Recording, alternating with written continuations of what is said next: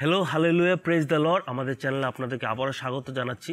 আপনারা জানেন যে ছোটো ছোটো ভিডিওস বানাচ্ছি, তিন থেকে পাঁচ মিনিটের ভিডিও যদি এই ভিডিওসগুলো আপনারা দেখতে চান কাইন্ডলি আমাদের চ্যানেলটাকে সাবস্ক্রাইব করুন আর বেল আইকনটা প্রেস করতে ভুলবেন না। সো দেরি না করে আমরা ভিডিওটা স্টার্ট করছি। আমি অনুরোধ করব আপনার ভিডিওটা কিছুক্ষণের জন্য পজ করুন, করে মথি চার অধ্যায় বিশ থেকে বাইশ পড়ুন, তারপরে এসে ভিডিওটাকে আবার স্টার্ট করুন।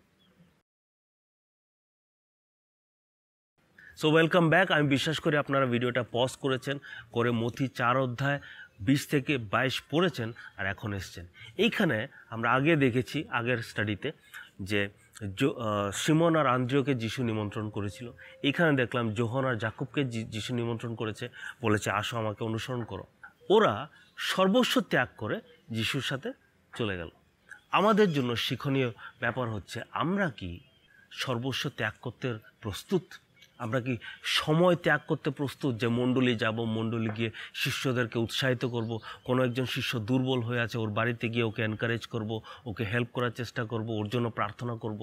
আমরা কি টাকা পয়সা ত্যাগ করার জন্য প্রস্তুত যাতে আমাদের কন্ট্রিবিউশন দিয়ে, আমাদের দশমাংশ দিয়ে, আমাদের অফারিং দিয়ে বাইবেল প্রিন্ট হতে পারে, তা ট্র্যাক্স প্রিন্ট হতে পারে?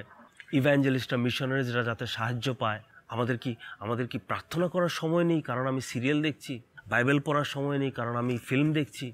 একটু কষ্ট করতে চাই না মণ্ডলীর জন্য, চার্চের জন্য, ঈশ্বরের জন্য। আমরা কি সর্বস্ব ত্যাগ করার জন্য রেডি এর মানে এটা না যে আমি সব ত্যাগ করে সাধুর মতো রাস্তাতে ঘোরাঘুরি করব। নো এর মানেটা হচ্ছে আমি ঈশ্বরের জন্য, মণ্ডলীর জন্য, চার্চের জন্য অনেক কিছু ত্যাগ করব। সম্বন্ধ ত্যাগ করা। এর মানে কি সবাইকে ছেড়ে দেবো? না।